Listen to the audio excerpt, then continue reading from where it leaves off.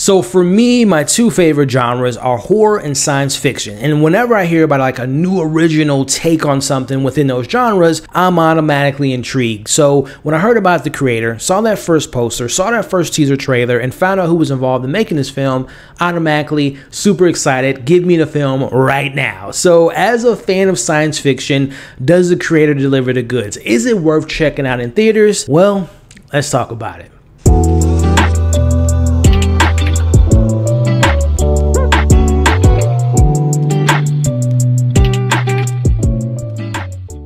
What is going on, movie fans, and welcome back to my channel. Elliot here today to share with you all my thoughts about the new Gareth Edwards science fiction film by the name of Creator, which I got the opportunity to check out in IMAX. And in today's video, I'm gonna let you know number one, should you see it in IMAX? But more importantly, should you see the film at all? Is it worth checking out? We'll be discussing that and much more in today's review. But first, let's start the conversation in the comment section. Let me know if you were excited for this film, if you are a fan of the science fiction genre, and of course, once you've seen the creator, Let's talk the good, the bad, the ugly. What really worked for you? Was it the direction, the story, the world building, the performances?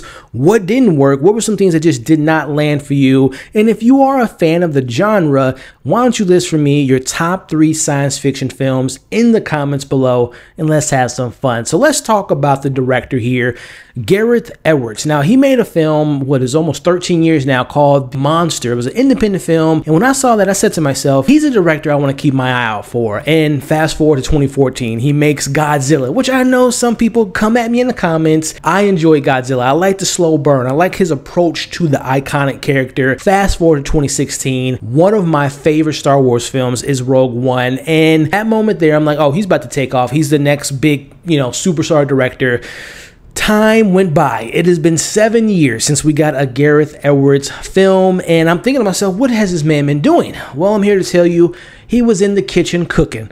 Let's talk about his direction with the creator. He puts together the kind of unique and bold, large in scale, original science fiction that honestly we just don't get in Hollywood nowadays. There's a level of confidence that radiates from his direction in this film, and he's taken a lot of risk in this movie, and I'll be honest, some of them don't completely stick the landing, but it's the fact that he's willing to do something new, to do something different, to take that risk that I personally applaud. Now, something I think a lot of people, including myself, will say about this film when you see it is, well, it has a lot of this going on that reminds me of this film. It has this plot that reminds me of this film. And while, yes, the film definitely has moments where you can see Apocalypse Now, Star Wars, Blade Runner, Akira, District 9, Avatar, just to name a few. And yes, thematically, it shares some similar beats and themes, but I don't consider this like a copy and paste or like trying to be those films, but instead, I think Gareth Edwards is paying homage and appreciation those films and other films that you might be able to see in this movie while having his own vision and style. So like I mentioned, going back to 2010's Monster, so where we at now with the creator, I think the creator is his best work to date.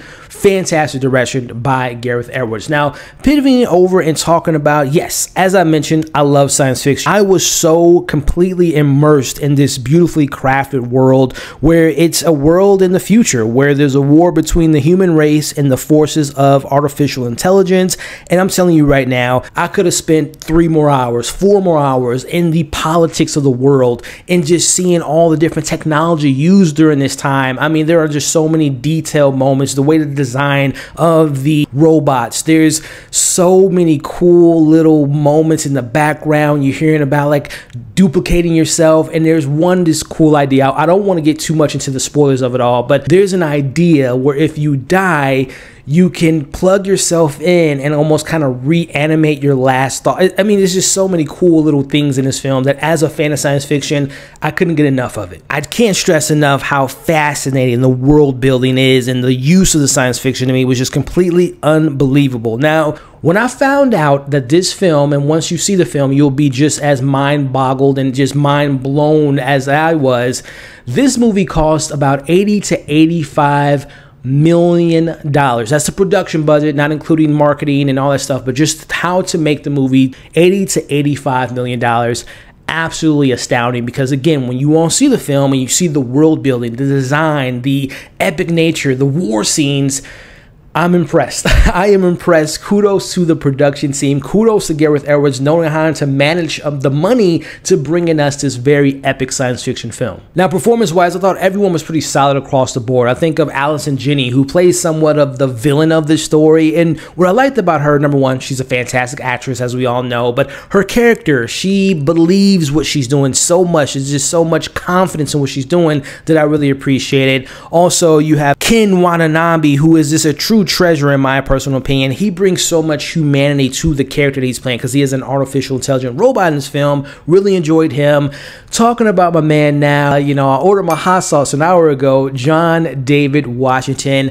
I'm going to be honest, I thought that he was okay. I thought he was solid in this film. I found as though some of the, the jokes that we get with him early on and some of the, the character decisions from not just him, but also the direction that he was getting in some parts didn't really stick the landing. But the thing that works for me in this performance, one of the things I like about him as an actor, he's able to pull on those emotional threads. He's able to really kind of get into those emotionally charged scenes involving him and this mission that he's going on, which is very personal for him, but also the relationship he has with a particular character by the name of Alphie, who in this big, large, epic scale science fiction movie this character was my favorite performance that comes from what I was able to look up. This is the acting debut from the young lady by the name of Madeleine Yuna is the beating heartbeat of this film and this story. She delivers such a beautiful performance as the weapon of this film. I was so invested in that character's journey and she made me get emotional in the best way possible. Phenomenal job by her. This film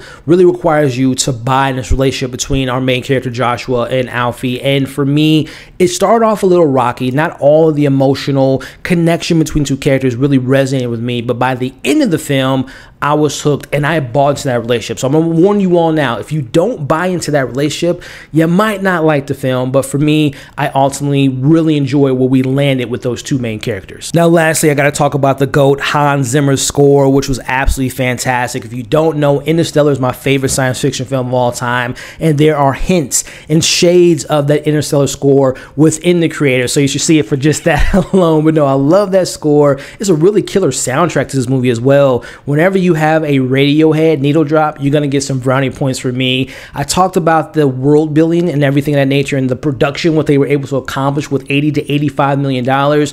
The production value is so fantastic. The cinematography is just so beautiful. It is just so well put together from a production standpoint. So everything from the camera, the sound, the sound mixing, the lighting, top notch. Touching a little bit on the story, which I found myself really engaged with. This film definitely has a lot of war elements and definitely reflects the actual wars. For example, there's some Vietnam moments within this film, and there's an undercurrent of hate and violence against the machines. And I know that it might rub some people the wrong way, especially in the landscape that we're in with artificial intelligence, whether it's the writers and actor strikes, there's other labor strikes going on involving artificial intelligence. So I know it might not completely work for people, but within the context and the framework of this film, I really like the narrative around the AI and the how people perceive AI, how they manipulate it, how they take advantage of it. I really liked how it was woven into this particular narrative. And even with all that science fiction stuff going on, there's exhilarating action, there's incredible set pieces, but at the end of the day, this is a story about love, hope, and what it means to be alive and to live. So there's a lot of heart that I really appreciate about this film. So I can go on and on and on about the things that really stood out to me, but those are the main ones. But this film isn't perfect. This isn't a masterpiece. It does have its flaws. Let's talk about some of those criticisms. No spoilers, but there are a lot of grand ideas within this film. And I feel like some of those ideas bogged down the pacing. Some of those ideas weren't fully fleshed out and didn't really work for me entirely. And that's it's frustrating because again, there's so much goodness going on with this film that there are just moments where I'm like, ah, I wish we could explore that more or really dive deeper into that and really flesh those ideas out. Now, as I mentioned, I was bought into the emotional aspect in this film, especially when we get to the end of the movie. But I do wish, as I talked about earlier, that the relationship between our two main characters at the beginning, I wish it was just handled better. Again, it takes time, obviously, when you're building a relationship within a two hour and 10 minute framework, but I just wish that it was a little bit more refined in the beginnings of Alphie and Joshua's relationship. And a couple more points I want to bring up, and these are more or less just kind of nitpicks. The comedy beats in the film, which is mostly predominantly in the first half, really felt a little bit off to me. There are some moments where the dialogue felt a bit clunky. There's some oddly weird editing choices in this film. In the third act, emotionally, it worked, it hit for me, but I feel like when we get to the climax and there's like the actual war going on between the humans and the AI, some of that stuff felt a little bit rushed for my personal taste, and it just feels like those moments there, feeling kind of rushed at the end, more of the connection with the characters at the beginning, and just some little nuanced things that I wish were more fully developed that keeps this film from just being next level, excellent science fiction film. But before I give you all my overall thoughts and give you my score and let you know if this is worth checking out, if you stuck around to this point in review, I want to take the time to thank you. If you haven't already, consider liking this video, sharing the video, leaving your thoughts in the comments, and consider subscribing to the channel. Overall, the creator is what we need more of in today's blockbusters. Gareth Edwards pays homage to the greats that have inspired and influenced the genre, but still adds his own unique flavor, paired perfectly with beautiful cinematography and amazing score by Hans Zimmer. And I hope that we get to see more of these type of movies, but also more of some Gareth Edwards films because I thought he did a great job. The creator for me is going to get a 4.5 out of 5. Now, normally I wouldn't give a film that had a little bit of some wonky dialogue, a little bit of a rush third act, and some things that weren't as fleshed out as I personally would have liked to have seen, especially with all the world building we'd had here. But the reason I'm giving this a higher score than what I would normally do with some of those negatives I had, he again, science fiction, love the genre. I love when science fiction touches on the pulse of what we're going on now in society, and this definitely has a longer lasting conversation within the future. So I don't think it's just time stamped in today's society. I think people will be discovering this movie 30 years from now, but it's also the immersiveness. I felt so connected to this world because, again, when you see it, it is so tangible, it is so layered, and just feels like it's actually in reality. So that alone kind of helps me boost up the film. I feel like the science fiction elements, the strong moments of performance, the great direction elevates a somewhat, I won't say lackluster, but somewhat of a script that has some shortcomings. So, again, 4.5 out of 5. I saw it in IMAX. I recommend you all do the same because, again, it is a true immersive experience that I think you all will enjoy. But hey, that's my thoughts on the creators. Once you've seen it, let's have a discussion in the comments. Did it work? Did it not work? Let's talk in the comments below. Thank you all for watching today's review. Before we wrap this thing up, I want to thank you again. Hit the like button if you had a good time. Consider sharing the video, leaving your thoughts in the comments, and of course, subscribing to the channel. You all are awesome. Hope you're staying safe, and I'll catch you all on the next video.